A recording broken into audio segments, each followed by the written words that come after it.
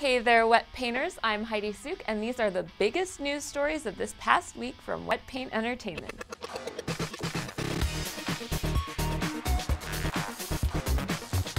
In Real Housewives territory, the Beverly Hills Clan has picked up a 2011 Critics' Choice Award for Best Reality Show.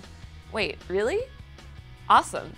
Meanwhile, in Atlanta, Cynthia Bailey's hubby, Peter Thomas, is currently on trial for beating up a former female employee. Um, not awesome.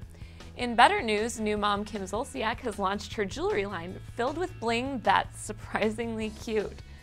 The season 4 premiere of True Blood is creeping up on us, and we've got pretty big casting news.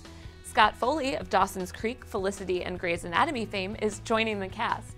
The dimpled hottie will play Terry's old army friend, but he may not appear until the season finale. Don't worry though, his stint on the HBO vamp drama won't interfere with his relationship with Teddy on Grey's. Phew. Speaking of adorable couples, Bachelorette reject Chris Lambton popped the question to Bachelor alum Peyton Wright earlier this week. Chris even asked her dad's permission first. Gotta love a gentleman. Congrats to the lovebirds. Elsewhere in Bachelorette news, In Touch magazine reported Ashley Hebert did the dirty with Bad News Bentley before he left the show. Ew. Apparently, the story was totally bogus, though. Season 4 winner Jesse Csincsak insists that Nookie before reaching the Final Four is virtually impossible. Can we move on from Bentley now, once and for all?